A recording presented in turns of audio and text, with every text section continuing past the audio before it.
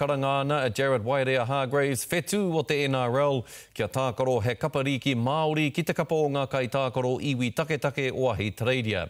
Hei tēnei pō mere, tū ai te tākaro ā-tau i waenganui te kapa iwi taketake o Ahitereiria me ngā NRL All Stars, engari hari te mea kei te hokona rawatia ngā tīkiti mō taua tākaro.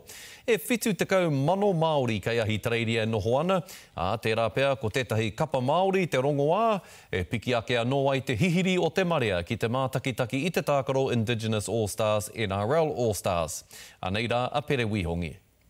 Kua puta te kōrero ki te aka kūmara, ka tū rānei te kapa rīki Māori ki ngā whakataetae NRL All Stars? You know, I only heard about it yesterday and um, I just, you know, if guys at that level are thinking about it, then maybe the powers that be should start thinking about it, you know. E rua noa iho ngā tīma, he tīma Ahitereiria, he tīma Kurī.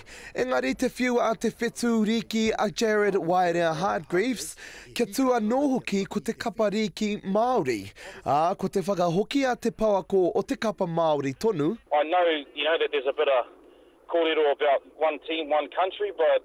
You know, when you've got the the depth that New Zealand has now in in international rugby league, or Māori rugby league has to be up there somewhere. We'd be one of the strongest nations in the world.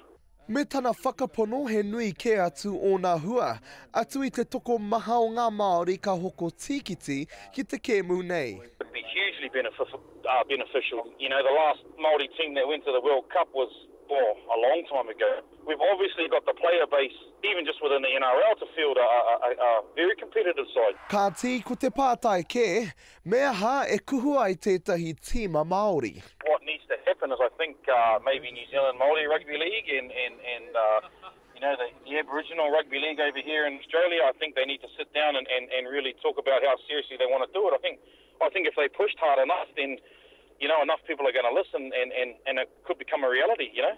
Ka tū te kēmu o te tau nei a Te Rāmere e tū mai ana, mō te tūpono, hei tērā tau ka toru pea ngā kapa.